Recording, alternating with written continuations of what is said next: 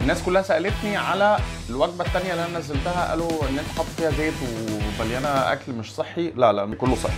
لحمة مفرومة فلفل وملح صلصة فيها زيت بصلة وتوم وطماطمتين. بس.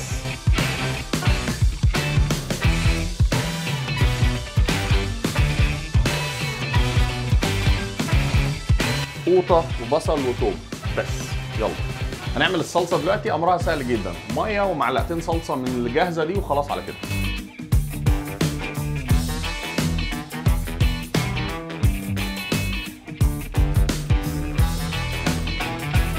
الصياعة في عدم استخدام الزيت فين؟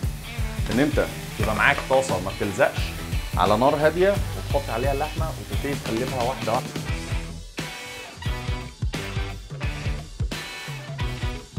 ده ميعاد الصلصة.